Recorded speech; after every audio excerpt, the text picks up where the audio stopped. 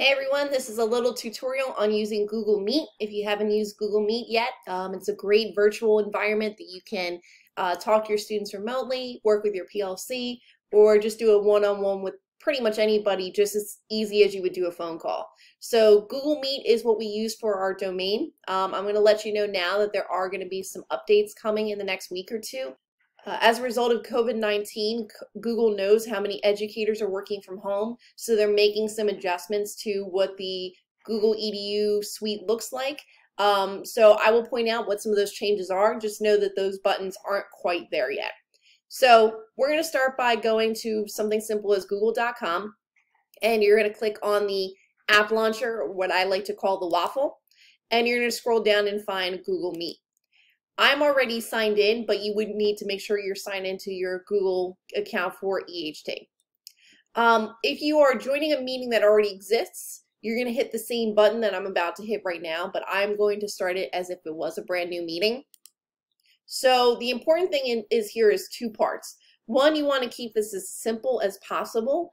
Um, you don't want to use any kind of special characters. Those things do not work.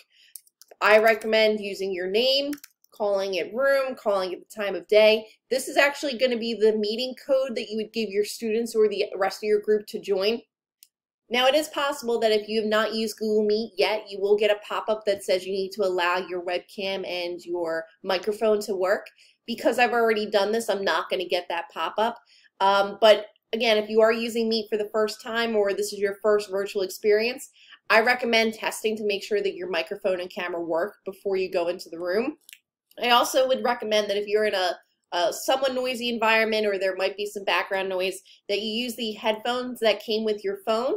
Um, two reasons. One, they're accessible. Most people have them. Also because it has a built-in microphone, if you look very closely, that has a microphone in this headset. Um, and all you'd have to do is plug it into the back of your computer or wherever your uh, headphone jack might be, and then you'd be able to block out the background noise and also have clear audio as well. Um, of course, it'd be great if you can have better lighting. Put a lamp next to your desk where you might be working or sit by a window. Just makes for a more comfortable and, and real environment if you do that. So moving on, I'm now going to hit join. Um, it would let me know if there was other people in the room. It won't show their names just yet, but it would notify you if there are people in there. And I'm going to hit join now. Now, this is um, another way that you can get people to join your classroom and not use that nickname. You can give somebody this URL link. Um, I find that sometimes just easier if you copy and paste that into an email or put it on your Google Classroom. It's just kind of kind of skips a step to do that. And if someone does not have a device but still wants to join the room, as long as they have access to a phone, they can also dial in with this unique phone number and PIN. Keep in mind though that phone number and PIN will change every time just like it would for any other um, online uh, virtual experience. So remember that you'll have to copy that both the URL and the phone number every time you want to make a change or you're coming into a room for the first time. If you're adding people such as adults who have the email address, you can go ahead and type in or click the people that you talk to the most. It will send them an email automatically. But remember that the students do not have email addresses. And the best way, again, is to either give them that meeting code or to just take that link and paste it somewhere that they can find it.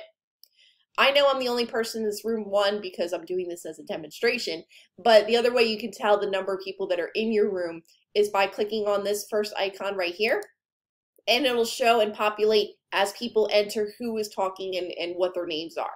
Um, keep in mind if someone is joining via phone, it won't have their name attached to it. It will have part of their phone number instead. So you may want to tell if you're working with students to announce who they are so you can kind of keep track of whose phone number is who. Some other features I want to bring to your attention are the captions feature. Just like if you were doing this with YouTube, you can turn on the, the captions.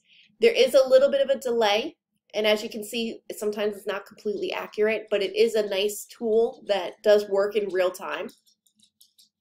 Um, I would let your students know that they can hit that captions button if they need to be able to read along. And just like that, I'll turn that off. Now, if you're presenting a Google slideshow, a website, or anything else related to your computer screen, you can hit present now, and it's going to give you two options. One is if you want them to go to a specific window. So let's say you have Google Slides as a separate window on your computer. You can have that specific window that they have access to. Or if you want to share your entire desktop, which is probably the easiest thing in most cases, you'd hit your entire screen. And you're going to see it's going to give you a preview of what you're going to be sharing with people before you hit share. And you can demonstrate it. The students would be, or the rest of your teammates would be able to follow along and see what it is you're sharing with them. Um, some other features I wanted to bring to your attention are the muting option. So as of right now, you can technically mute individuals, but they can unmute themselves just as easily. Um, and that has been a problem, as you can imagine, with a, uh, a virtual environment with 20 students in the room.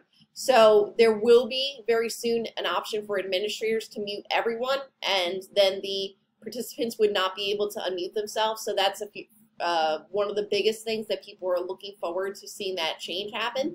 Um, another thing too that has been a problem in other districts is when the teacher goes to leave the room, some some of the students would not leave the room with them and continue a conversation offline or online, as you might say.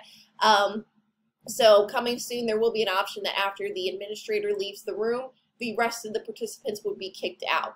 So that is not currently the case. I would recommend staying online until you know that everyone is gone, um, at least until that feature becomes available. I know this is a little bit of a learning curve, this virtual environment, but if you have any questions while you're clicking through, feel free to reach out to me. I can set up a Google Meet with you to make sure you're comfortable with the tools, and I look forward to seeing you on the other side.